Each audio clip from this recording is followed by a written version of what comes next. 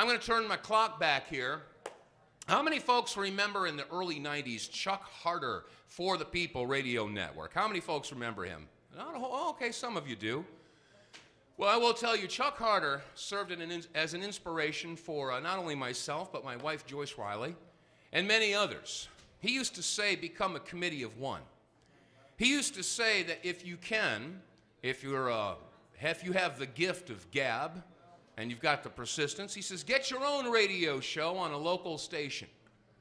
And I thought about it. I've been in involved in uh, announcing and voiceovers and music and recording and radio since the mid 70s. I said, Yeah, I'm going to get my own radio talk show. It took me about two years of uh, persistent door knocking and being a squeaky wheel, but I eventually ended up on a radio station in Waterbury, Connecticut at WATR AM 1420. And uh, I used the air name of Dave Riddell because the program director, you know, he knew what I was talking about. He says, Dave, last name like Von Kleist, you know, there's not too many Von Kleists out there. All they got to do is get a phone book. They're going to find you, your wife, your kid, you know, whatever. Use an air name like many of the other talk show hosts do. I said, okay. So I chose my grandmother's maiden name. It had sort, sort of rolled trippingly off the tongue. Dave Riddell, yeah. So that's the air name that I used, and I went on and I was just banging the drum long and loud against all this main, you know, all, all the stuff that the mainstream wasn't talking about. And here comes the Oklahoma City bombing. You know, I mean, we have so many innocent men, women, and children killed on that day. And what was the mainstream network shoving down your throat 24 7, 365? It was O.J. Simpson. Some of the other radio stations were doing 15 minute OJ updates. When they tuned into our station, I say, ladies and gentlemen, if you're looking for an OJ update, turn the dial. Welcome to No J Radio. I say, yeah, it's terrible that two people were murdered and they think that OJ did it or whether he did or he didn't, but that's not the point. The point is, is we have a whole lot more people, innocent people, that were blown to pieces in Oklahoma City and the mainstream media is not talking about it. So I spent weeks focusing on the Oklahoma City bombing and brought on many different people, and one of which is our next presenter. He is a former head of the uh, FBI offices in, uh, in uh, um, thank you, Memphis. Thank you, right here, hometown. And Ted Gunderson was one of the few voices screaming from the rooftops about what was going on in Oklahoma City. I had him on as a guest on my program about uh, 12, 13 years ago, and it's a pleasure to shake his hand. Ladies and gentlemen, Mr. Ted Gunderson.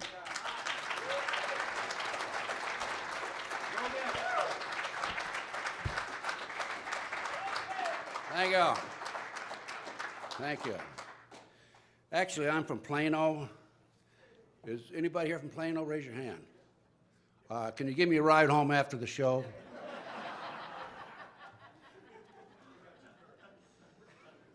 FBI. Okay. Now, I wasn't sure what I was supposed to talk about until I saw the program here about a week or so ago because I have probably six or eight topics I can discuss Oklahoma City bombing, 911, World Trade Center, 93, and the list goes on and on. Satanic cults, and uh, I was chosen and asked to talk about the great FBI. I was an FBI agent, uh, including uh, a chief, for some 27 years. I was a brick agent. They call it brick agent, meaning you're on the street investigating and so forth. For 10 years, and then I rose up through the ranks. And when I retired, I was in charge of the LA Bureau, which is most of Southern California.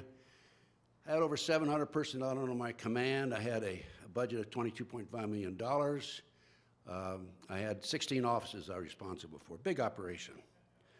And, uh, and then uh, in 1979, I was 50 years old, and now you can figure out how old I am now. And uh, I knew mandatory retirement was 55, so I decided to retire. But in the interim, those 27 years, I handled just about everything counterespionage in New York. Um, I was in uh, New Haven, Connecticut number two man when the Panthers were running wild there.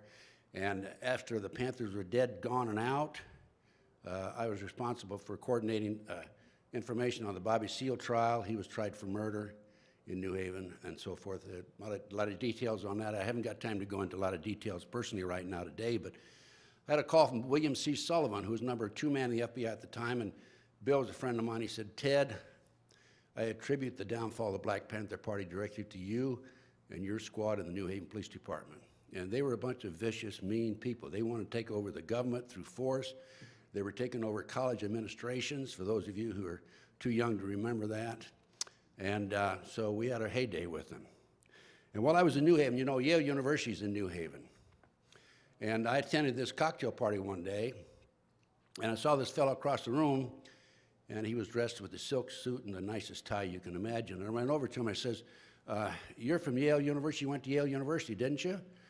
And he said, yes, well, how did you know that? And he says, uh, I said, well, I saw your, you know, your nice suit, your tie and everything. He says, well, you graduated from the University of Nebraska, didn't you? And I said to him, well, how did you know that? He said, I read it on your ring when you're picking your nose. That's not a true story, really. I don't pick my nose. But uh, I ran the gamut uh, in uh, July 12, 1972. I'm telling you the story because I want you to know I have credibility. And when I get up here and tell you what I'm going to tell you after this, I can document it. And I've spent the last 28, 29 years of my life doing just that. I spend my retirement money on trying to wake up America. Okay. But, beg your pardon, sir? Yeah. But um, I ran the gamut in the FBI. Uh, July 12, 1972, I negotiated with two terrorists who had taken over National Airlines Flight 496 at Philadelphia International Airport. Successfully, I was able to get the release of 113 passengers. Uh, I picked up a 10 most wanted in Connecticut at one time. I worked general criminal, Communist Party USA. I, I did everything in my day.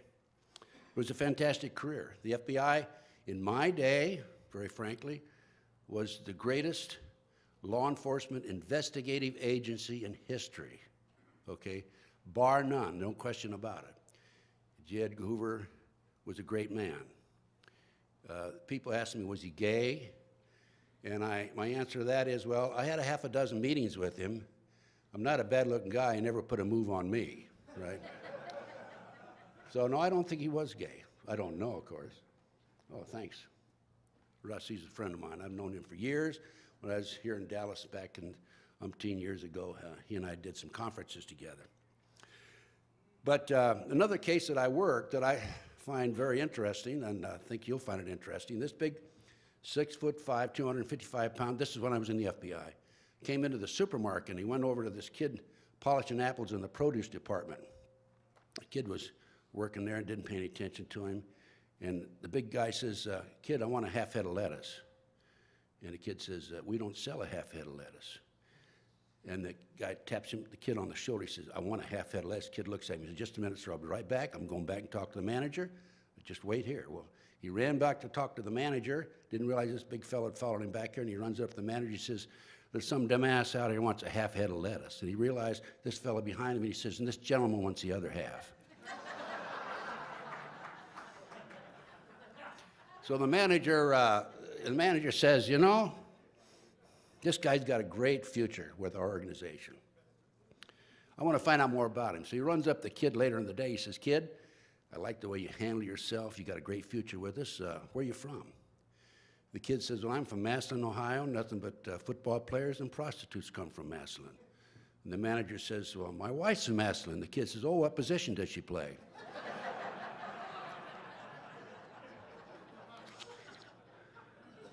Now we got to get down to serious business, FBI. FBI was a great organization in its day, okay? I'm telling you right now, I'm telling you right now, they've been infiltrated, no question about it in my mind, by the Illuminati. I think if you've been here in this conference for two days, everybody knows what the Illuminati is, yeah. right? And there's no question they have been infiltrated by the Illuminati, okay? Now, right after I retired, by the way, I had no idea. I never heard the name Illuminati when I was in the FBI. You see, there's an overt, covert operation in the government, and I've learned this since I got out. I was a member of the overt operation. These are the guys with the suit and tie go in at the bank robbery and ask, what did the bank robber look like and so forth. The covert operation, which is running amok, involves assassinations, murders, burglaries, kidnapping children. I've learned this since I got out. And it goes on and on and on. involves illegal drugs. And those who have stepped forward to try to identify it and document it, like Gary Webb, who identified South Central CIA drug operation, uh, have paid the price. Gary Webb, by the way, if you don't know, I'm sure you do, he was the reporter, the San Jose Mercury News, who committed suicide. He was shot head twice in the head. He shot himself twice in the head, right? And there was another gentleman who tried to take on the government, the covert government operation, General Omby, who had exposed the largest drug, you haven't heard this story, drug operation out of Fort Sill, Oklahoma. He worked late one night, didn't come home. The next morning they found him hung with his jacket very neatly stacked next to him. His ties were, his hands were tied behind him. And, um, and they said it was suicide. Now the question is, did he tie his hands behind him before or after he hung himself, right? But this has gone, been going on now. To my knowledge, there have been hundreds, hundreds of us, those who have stepped forward, trying to expose these or horrible, ugly crimes by this covert operation who have paid the price. So uh, my first major investigation, and I'm going to have to touch on uh, some of my cases very lightly because there's too much time. I just spent this morning, I was an hour, whole hour discussing the Franklin cover-up case. I was involved in that. But my first major investigation as a private professional investigator, before I go any further, let me tell you, there's a lot of good people in the FBI, CIA, NSA, military intelligence, a lot of good people. But the problem is the leadership at the top, okay? And this goes right up to the White House. So my first major investigation was the Dr. Jeffrey R. MacDonald case. He's a former Green Beret doctor who was tried and convicted, sentenced to three consecutive life sentences for murdering, supposedly, his wife and two children, Fort Bragg, February uh, 17th, 1970. Fort February, yeah, 17th, 1970. Um, I was asked to enter the case as a private professional investigator, and I did. Within 10 months, I obtained a signed confession. Now, we're talking about the FBI. And when I'm telling you about the FBI, I'm talking, I'm going to take cases, several cases that I've worked personally. So I'm a unique individual. I not only have done the research, I've been on the streets we call it uh, been in the trenches. So in this case, of course, I was in the trenches. And within 10 months, I obtained a signed confession from a girl named Helena Stoeckley, who said that Dr. MacDonald did not commit those murders. They were committed by her satanic cult group. And of course, I'd heard about Satan in the Bible, but I really didn't know that much about it. And uh, so uh, then I started doing my research, and I went public with my confession uh, from Helena. And uh, I was on radio, television, so forth. And people came to me from all parts of the country, West Coast, East Coast, telling me the same basic story. And I'm saying, well, there must be something to it. Uh, long story short, on the MacDonald case, I developed 19 new witnesses, which included my confession from Lena Stoeckley. And then at that point, up to that point, this Army had conducted the investigation. It was a huge cover up, huge drug cover up. And told me this. They were flying drugs in plastic bag in the body cavities of the dead GIs in military planes coming into Fort Bragg and around the country. For documentation, I went to UCLA Library, in addition to having this statement from Helena, and I learned that there was an article by Time Magazine, January 1, 1973, that documented this. So Helena gave me this information. She said there were generals involved, police officers, Army enlisted personnel, and so on and so forth. The reason they went in and roughed up Dr. MacDonald, it got out of hand. They were on drugs. According to Alina, there were seven members of her cult that went in and wiped out the family, was because Dr. MacDonald was moonlighting in a civilian hospital and the GIs were going over there for treatment. They were being turned in and being given dishonorable discharges. Anyway, I developed 19 new witnesses. I submitted a 1,200 page report to the defense team. they ended up submitting it uh, to the Department of Justice. He'd been tried, convicted, so we had to have a hearing. Now, at that point, once I entered the case, ex-FBI chief and all that sort of thing. At that point, the FBI entered the case. And up to that point, as I say, the Army had handled the investigation. So instead of the FBI taking my work, my 1,200 pages, and building on the case from what I had done, they started interviewing my witnesses, 19 of them, and tried to get every one of them to recant. So here the taxpayers are paying the FBI agents to go out and recant a case where positive information has been developed. This man is absolutely innocent. When I learned this, I was really very upset. And as a matter of fact, they even interviewed me. And I had a heyday with them, to be honest with you, because at the end of my interview, it was being taped. I told them about some criminal violations that had been that had occurred, and I wanted them to investigate these other criminal violations, including the kidnapping of children by the CIA, and I'm going to go into that case in just a minute. Anyway, um, I was shocked, I was surprised, and then they came after me, uh, tried to discredit me, and so on and so forth. I'm going to discuss that just a little bit later in the lecture. So, by the way, the case today, in 1997, the judge ordered DNA tests. The tests have been completed. Uh, the tests absolutely exonerate Dr. MacDonald, establish, prove beyond any question at all that there were other people in the house that night. For example, there was hair fiber with root found under one of the children's fingernails. Okay?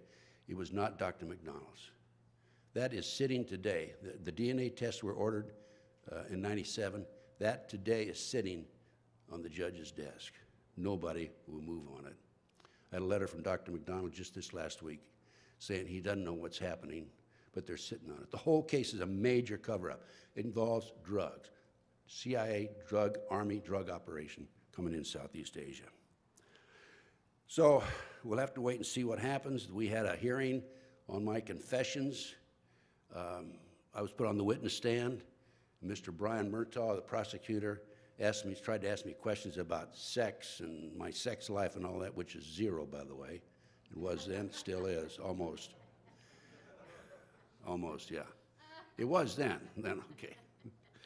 But I mean, this is irrelevant. And I looked, I looked at MacDonald's attorney, I said, aren't you going to object to this? And uh, no response. So that was the first case where I really had a wake-up call. That's how I became involved in the movement 27 years ago, what have you.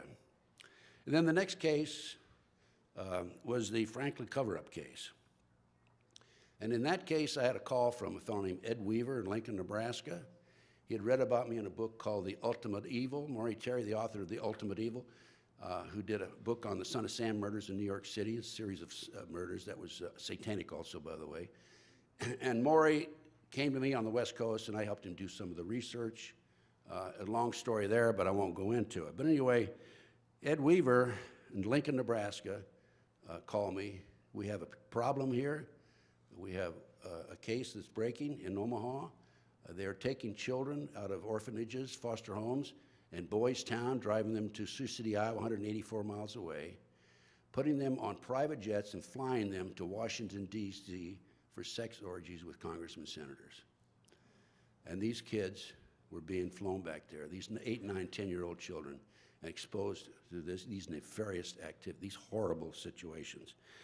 And I was told by Ed Weaver that some of the most prominent individuals in Omaha, Nebraska, and they're, they're named in uh, John DeCamp's book, The Franklin Cover-Up, and I'm, I'm out of them, by the way. I got one left, and I promised that to somebody. But you can order it through my website, tedgunderson.com, or you can come to my table afterwards, and I, you can order it then.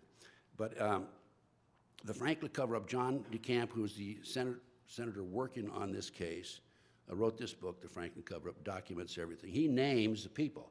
Harold Anderson, past publisher of the Omaha World Herald. Bob Wadman, chief of police at the time. The head of the society page of the Omaha World Herald. The, the heir to the Brandeis fortune in Omaha. Uh, Eugene Mahoney, head of the Nebraska Forestry Service, ex-cop with the Omaha Police Department, Vice Squad. They're named in this book.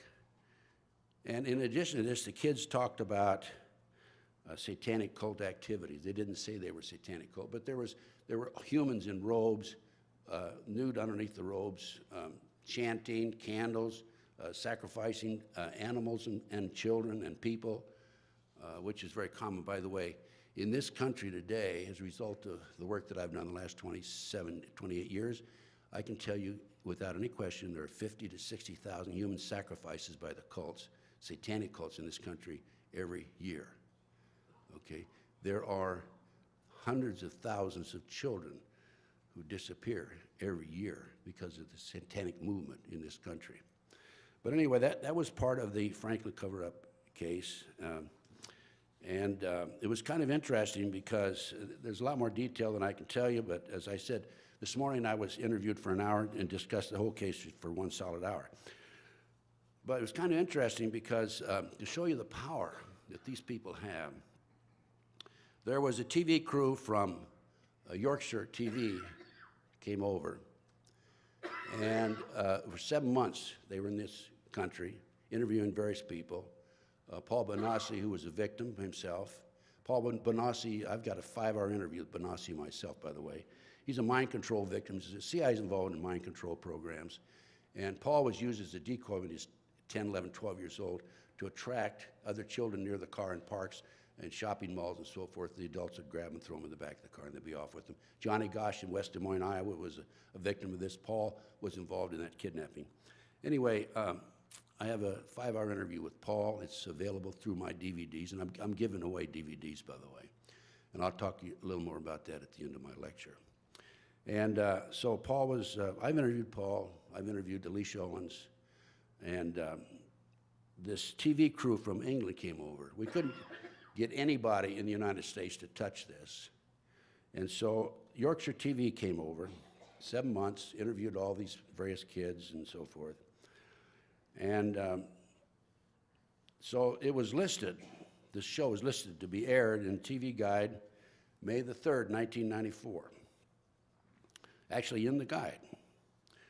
There were certain members of Congress found out about it, bought up the rights to the show, orders all copies destroyed, and it never aired on TV, uh, on national television, although it was supposed to be listed to air on the, um, at 10 p.m., May the 3rd, 1994. Now, here a couple of years ago, I said, well, I've got to get a copy of the TV guide. And John DeCamp had one. He can't find it now. I think somebody stole it from him, to be honest with you. I got to get a copy of the TV guide. So I ordered a copy of the TV guide. Here's a page. I'm looking at right now on May the 3rd, 1994. It's not listed there it was not listed there in the copy that I have. It's called Balance of Nature, appeared at 10 o'clock on Discovery Channel.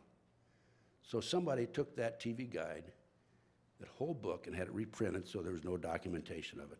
Well, I outfoxed them. I went to the UCLA library, went to the, oh, excuse me, I went to the LA Times library. And I pulled up the TV guide for May the 3rd, 1994, it's listed.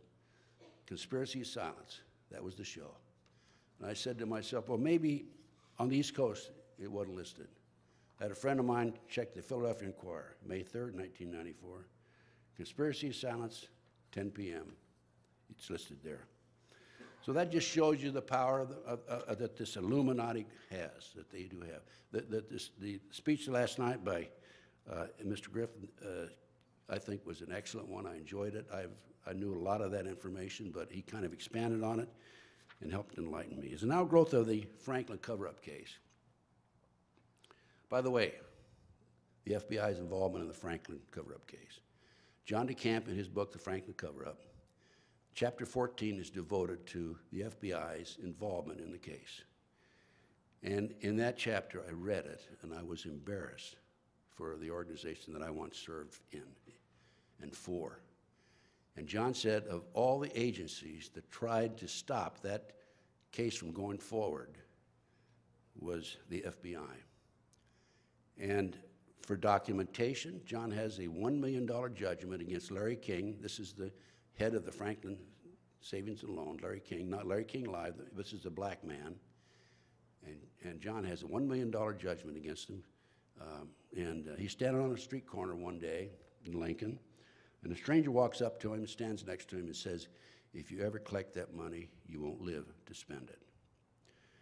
John one day decides he has to move from Lincoln, get out of town. He's receiving death threats.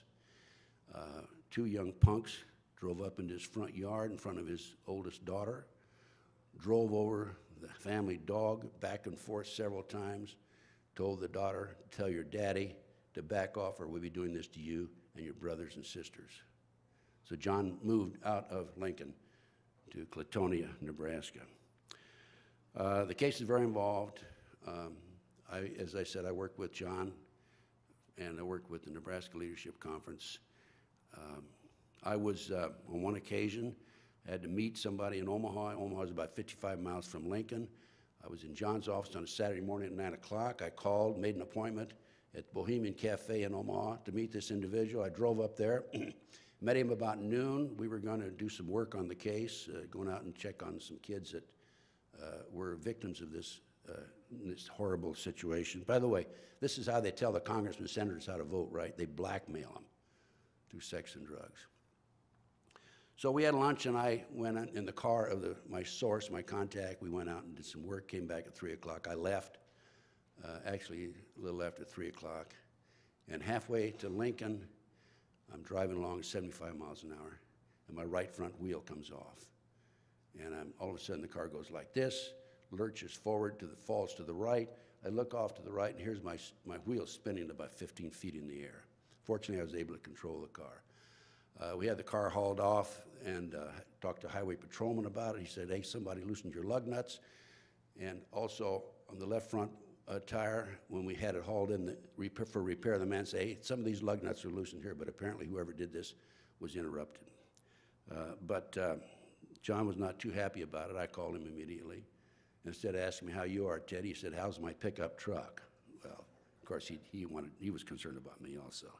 As a result of the Franklin cover-up case, um, we learned that there's an organization, we meaning John DeCamp, Ed Le Weaver, and I. And uh, but before I leave the Franklin cover-up case, let me tell you, Gary Caradori was the investigator before I came along. He was a former highway patrolman. The official photographer of the people, of the group, was a fellow named Rusty Nelson. And I spent quite a few hours with Rusty. In fact, I spent about two and a half months with him on one occasion. Um, and um, Rusty was recruited out of a gay bar in Omaha. And uh, he was a country boy, never saw the bright lights of the big city to speak of. Omaha's not a real uh, metropolitan uh, town, by the way. It's, it's, all right. Kind of an overgrown country town. And uh, so they recruited Rusty to take pictures of these activities that were taking place in Washington, D.C., and that's, of course, how they, they framed them. And uh, Rusty was pretty smart about it because they kept control of the film that Rusty had, but he would sneak his own film in every once in a while. He'd take his own pictures, so he had double set of pictures. And he did this for, obviously, his own life insurance policy. And uh, so uh, Gary Caradori was contacted by Rusty. This is just before I came aboard. And uh, Rusty said he'd meet him in Chicago. Actually, Rusty at that time was in Phoenix, Arizona. And he met him in Chicago, gave him these pictures of some of our top political figures having sex with children. Gary and his little 11, 12 year old boy flew to Chicago on his own private plane, got the pictures. He called Senator Lawrence Schmit, who was working with John DeCamp, and he said uh, to the senator, I have the smoking gun. And he got on his plane and shortly out of Chicago in Aurora, Illinois. Um, his plane blew apart, and a farmer testified he saw a bright flame, and the plane crashed, and Gary Caradori died. The first officer at the scene was a deputy sheriff, and um, he picked up the pictures that were strewn about on the ground, and the FBI came along and told him, let me have those pictures. They confiscated the pictures from him, told him not to talk about it. Uh, and the plane was hauled off to a military base. Now, Gary's a civilian. Should have gone to a civilian base. It was hauled off to a military base. The briefcase was never re uh, recovered. The back seats of the plane were never recovered. I, I tried to get, a, a, get my hands on that plane for uh, about six months, and they wouldn't let me have it. Uh, but I suspect that the reason the back seat was missing is because that's probably where the bomb was. I'm sure the farmer says there was a flash, there was an explosion. Uh, The official version of the National Transportation Safety Board was the plane fell apart in the air. Okay, they do that all the time. What was it, Wellstone, his plane crashed too, didn't he? Uh, That's one of their favorite ways of getting rid of th- these people. Uh, Airplane crash, automobile crashes. Catherine Sorensen on the Franklin cover-up case, who was the first complainant, uh, she uh, had a pattern of taking her foster kids on the same route to school every morning. And this one particular day, after she filed the complaint, uh, she's driving along. She comes up behind two little old ladies doing five miles an hour on a two lane highway. At the last minute, the two little old ladies cut off to the right, and a car comes 70, 75 miles an hour and, and, and hits her dead end, head, head, head in. And of course, she died. So they got rid of her that way. Um, Anyway, as an outgrowth of the Franklin cover-up case, we learned that these kids, there were kids being kidnapped in Washington, D.C. I'm telling you very briefly about this case. I really got a lot to cover, and I can't cover it all. You can get it on my DVDs, though. So, um, in 1987, uh, March of 87, there were two adults and five young children who were noted in a park in Tallahassee, Florida. The adults were very well dressed, the children skimpily dressed. The police went down and talked to the kids. They said they were on their way to Washington, to uh, Mexico for a smart school. The kids didn't know how to use telephones, didn't know how to use the toilet, said they were living in the van, and they were only being fed uh, when they would, uh, were, uh, they weren't being fed on a regular basis, only being fed uh, when they were behave, would behave themselves. And the car, the van was traced to Washington, D.C. The two men were very well dressed. And long story short, the Metropolitan Police Department, Washington, D.C., obtained a search warrant on the, this was an organization known as the Finders. And they learned that uh, from the search warrant that uh, there were uh, children being kidnapped by this group. They were being transported all over the world. Uh, there was information in their computer about terrorism and explosives and bank transfers. Uh, they talked about children from China and Hong Kong and from the Middle East and from Europe and so on and so forth. Um, they also talked, the Metropolitan Police Department said that there were indications that there had been some satanic activity in this same location. The, uh, I have a copy of the U.S. Department of the Treasury Customs Report. Okay, I obtained a copy of this, and they did an investigation. They were called into the case because uh, they thought maybe there was some pornography involved. And I'm going to just read uh, the last page of the report to you. I have a copy right here. And this is the uh, customs agent going over to the Metropolitan Police for a final briefing on the case. I was, quote, I was advised that all the passport data had been turned, been turned over to the State Department for their investigation. The State Department, in turn, advised Metropolitan Police Department that all travel and use of the passports by the holders of the passport was within the law and no action would be taken. This included travel to Moscow, North Korea, and Vietnam, North Vietnam, from the late 1950s to the mid-1970s. Now, it was against the law to travel in those countries during that period. The individual, meaning, meaning a Metropolitan Police Department officer, advised this customs agent, further advised me of circumstances which indicated that the investigation into the activity of the finders had become a CIA internal matter. The Metropolitan Police Department has been class, report has been classified secret, was not available for review. I was advised that the FBI had withdrawn from the investigation several weeks prior, and the FBI's FBI Foreign Counterintelligence Division had directed the Metropolitan Police Department not to advise the FBI Washington Field Office of anything that had transpired. No further information will be available. No further action will be taken. No further action will be taken on the basis of this report. Well, now, why am I bringing this to your attention when I'm talking about the FBI? It's very simple. This report has been furnished by me to the FBI on at least a half a dozen times with a formal request that an investigation be conducted. I have yet to be contacted by the FBI for more details. I have additional details. This is their responsibility. I was involved in kidnapping cases. This is an international child kidnapping ring. In my research, I learned this has been going on since the late, uh, since the early 1960s. I've also learned in my, in my research that this is an Illuminati operation and that they have vans throughout the United States that are picking kids up off the street. And if you'll check the National Center for Missing and Exploited Children uh, website, you will see that there are 91 adults disappear in this country every hour. 85 to 90% of these are children, estimated. Now, I did a chart. I charted, you know, these National Center of Missing Exploited pictures, they send these little cards, they must send millions of them out. And, and they've been in business for 25 years. And as of a year ago last fall, by the way, last year they took in $49 million. And as of a year ago last fall, they had located 139 children in 25 years. Not a very good record, is it?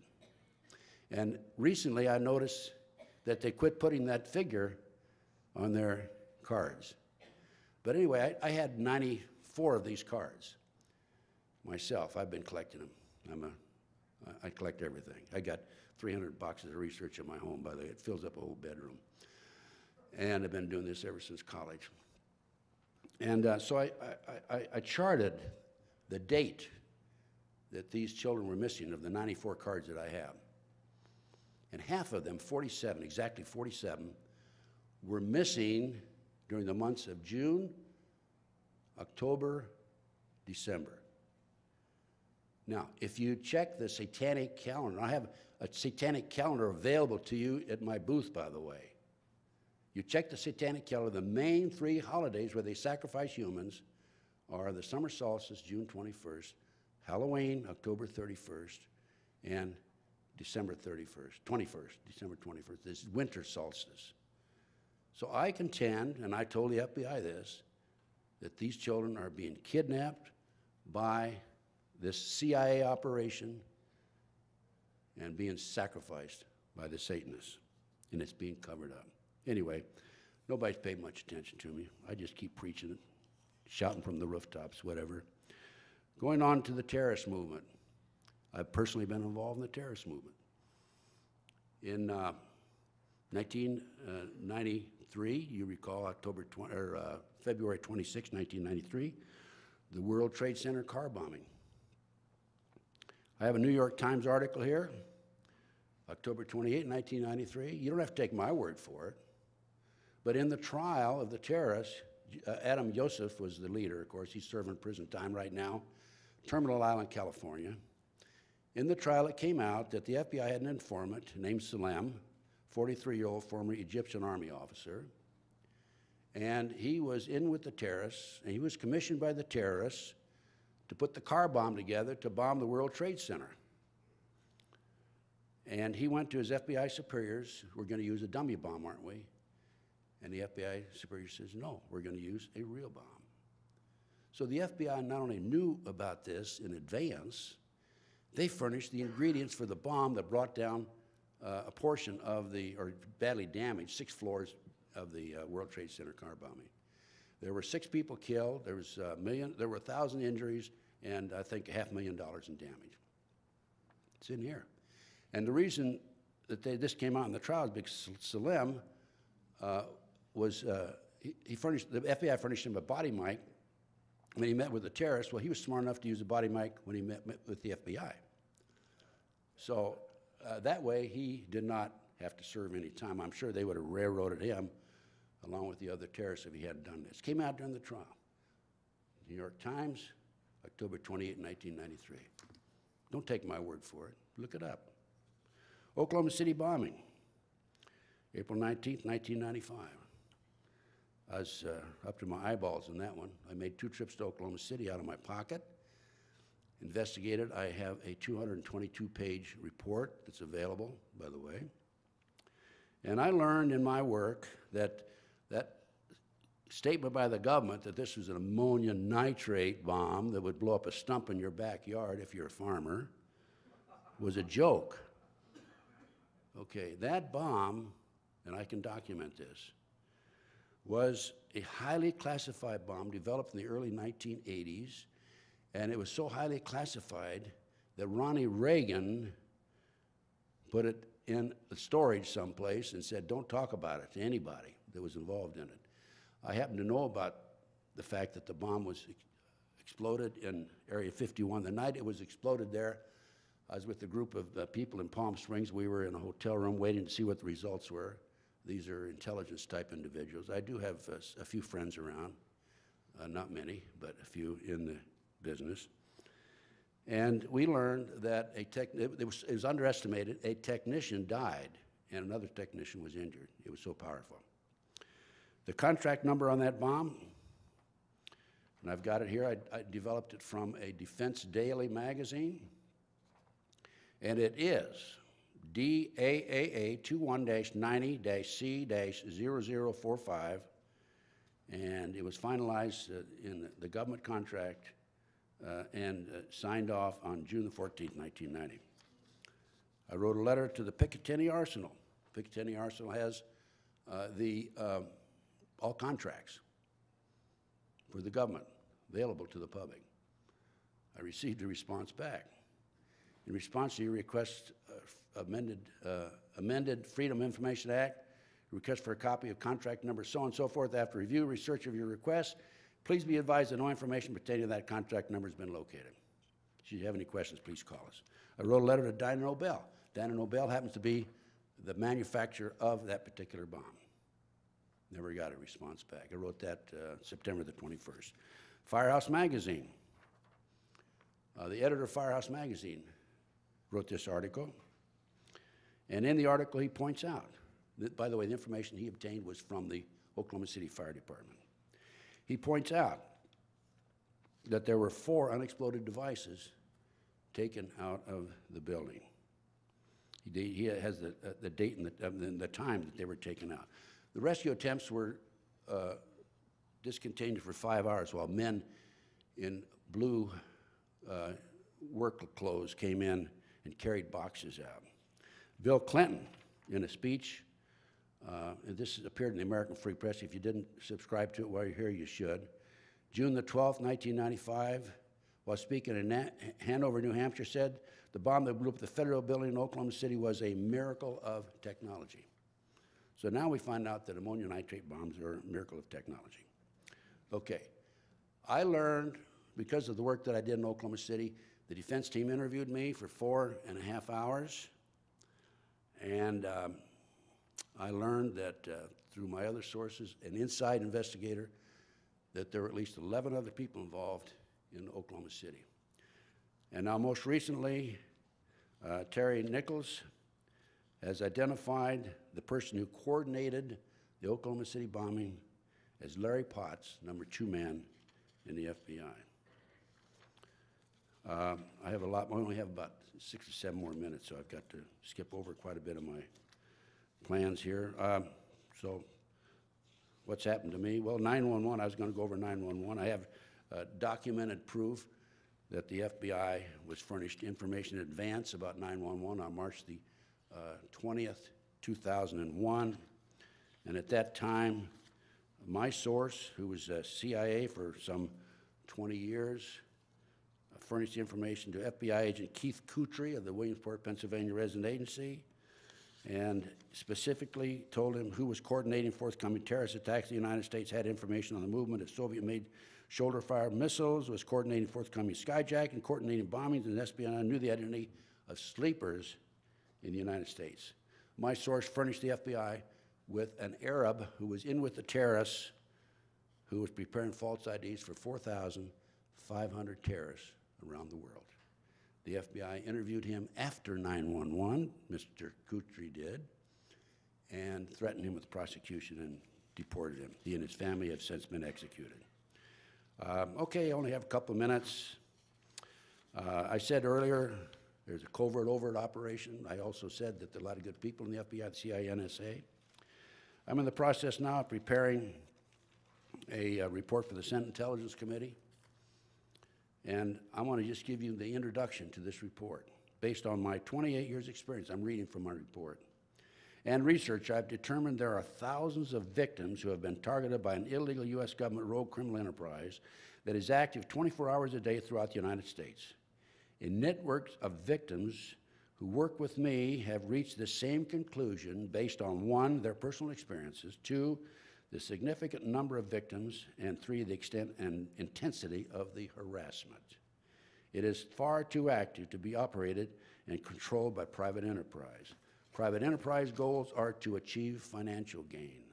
These operations require extensive financing to operate with no return on the investment. I believe these programs are financed through illegal black operations, i.e. drugs, prostitution, gambling, kidnapping children who are auctioned off as sex slaves. Paul Bonacci told me he attended uh, six such auctions with as many as two, as three, excuse me, as many as six and as many as 36 children being auctioned off at $50,000 each, by the way. Um, kidnapped children who are auctioned off as sex slaves, used as humans in human sacrifice and body parts. I believe this well-organized, sophisticated operation has a central command located somewhere in the United States with multiple satellite offices scattered throughout the country. It appears that the, those who administer the program can call any location in the U.S. for surveillance, a telephone tap, or other activity, and harassment directed at a victim and immediately dispense manpower to the source. This has happened to me, by the way, time and time again. This well-greased covert operation makes the old FBI counterintelligence program look like a Sunday school class. I can document that the government has the expertise, finance, and manpower to effectively administer such a program. To understand why and how a black criminal enterprise of this rogue element targets an individual is necessary to one, to identify the victim, two, outline the reasons the victim is targeted, and three, document and identify the weapons and tactics being directed against him or her. Okay, I only have a couple of minutes, uh, but I think I started late, so I may take a little extra minute time on that one. So what about me? People say, why aren't you dead? Okay, well, let me tell you this. Uh, in the early 1980s, I had three occasions when gunmen were waiting for me. I, know, I found out afterwards, and it's only through divine intervention that I didn't go to specific locations at the time. Uh, for example, one of them, I didn't go home that particular night. The landlady said that she was parking her car at 1.30 in the morning. Two men were in the car across from my front door. One of them got out of the car and came over and said, you know where Ted Gunderson lives? And they said, no. Or she said, no. And I, of course, told her, of course, told her, if anybody asks about me, you don't know me. And he sat in the car 15 more minutes, quarter to he left. I've made some phone calls the next day. The next day when I came home, and um, I found out I had a hit on me. And I, I made, I went in to see some certain people, got that hit taken off, and I learned that there was a second hit on me uh, by satanic cults out of uh, Florida and Houston. And I was a little upset about the first hit. It was by the Israeli mafia, by the way, because of a case I'd worked, an attempted assassination of a businessman. I was upset because I found out that uh, uh it was a hit for $25,000. I thought I'd at least be worth 100000 Ex-FBI chief and all that. Anyway, uh, I had, in addition to hitmen waiting for me, I had three FBI investigations of me. I, I submitted uh, freedom information requests. I received copies back of some of the pages. They were nebulous. I might as well have thrown them in the wastebasket. But it's kind of interesting because at the end of each report it says Ted Gunderson should be considered armed and dangerous. They should have added with knowledge, okay? I had a girl named Pam Fawcett the FBI and the DEA uh, commissioned her to try to set me up on a drug deal. It didn't work. After six months, I was trying to help her, give her advice on her 14-year-old son who was in trouble in Florida. After six months, Pam came to me and said, uh, told me the whole story, how she had run the Modesto, California office, FBI office. She'd come and go. She had her own coffee cup. They'd given her $2,000 to try to get me, okay? And I said to Pam, I said, Pam, and I gave her a polygraph. She passed. I said, Pam, why are you coming to my side now? And she said, Well, I woke up the other morning and I realized you're the only honest son of a bitch I've talked to in six months. Those were her exact words.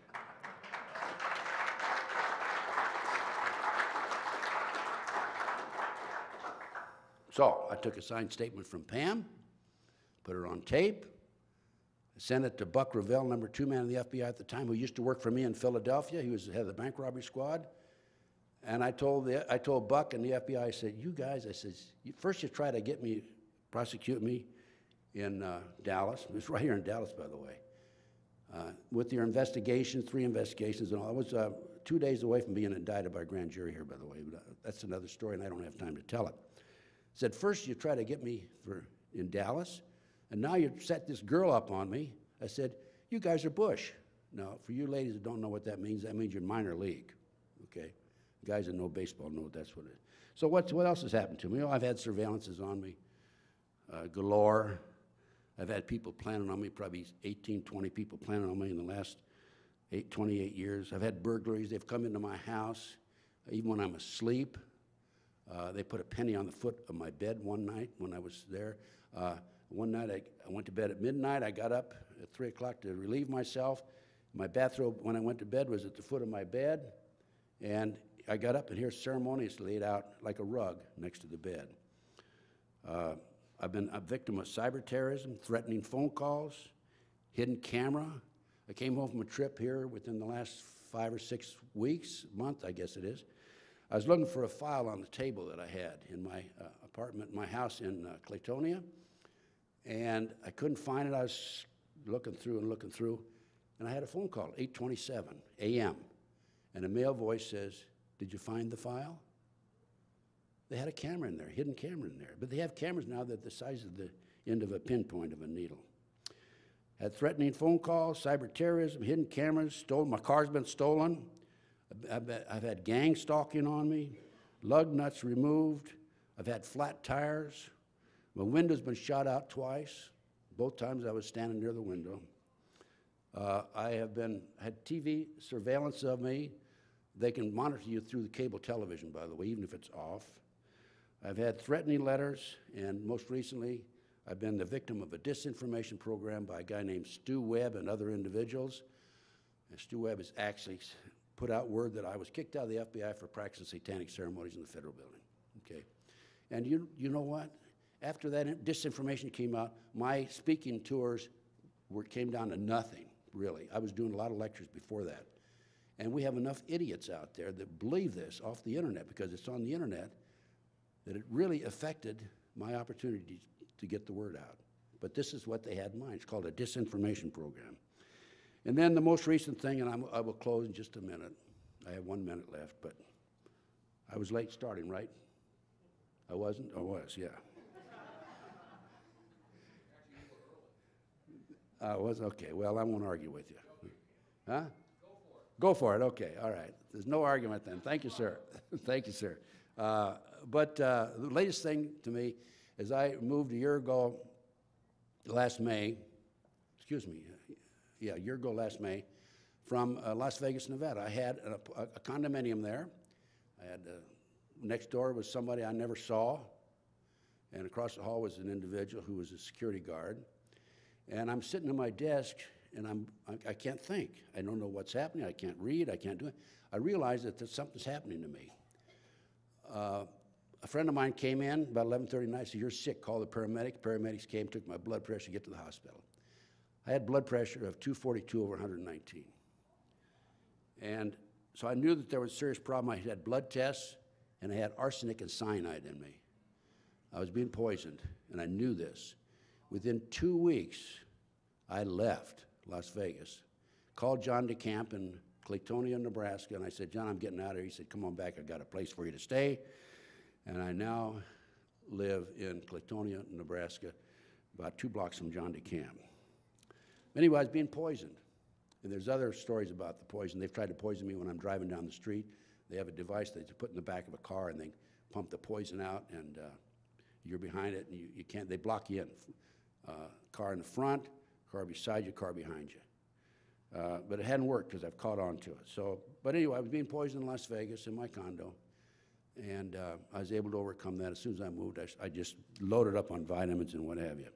Okay, I was asked a few moments ago before I came on board the reason for the terrorist movement, by the way. The reason for the terrorist movement is they create these terrorist acts, the government does this covert operation in order to hand, establish the Homeland Security and in order to write the Patriot Act, take away our constitutional rights and civil liberties.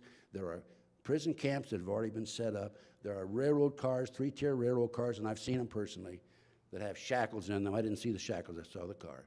And there are big plans for the next terrorist attack, I think, to pick up a bunch of us, there's a red, blue, and green list, and haul us off to these concentration camps. So, okay, now, um, thank you very much. I want to urge all of you, uh, is there hope for our country? If we, if we, there's hope if we can elect Ron Paul. Okay, we need, we need to get Ron Paul elected.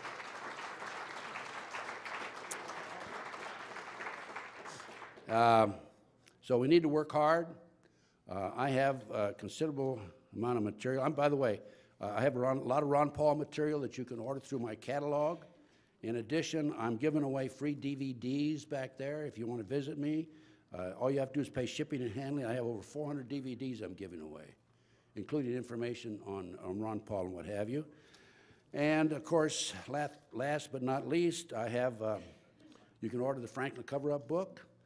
Uh, we didn't discuss in detail pawns in the game, but this is a book about the Illuminati, the 25 goals that were announced May the 1st, 1776 by Adam Weishaupt to take over the world, and that includes uh, corruption of the youth through sex and drugs, and uh, of course, uh, controlling the mainstream media, and about 85% of these goals are complete. Also, in my catalog is a uh, multi-level program about holy tea. The lady that put me into it, her first check, the first month was $1,400. You might want to take a look at that, and thank you very much, sir. Thank you.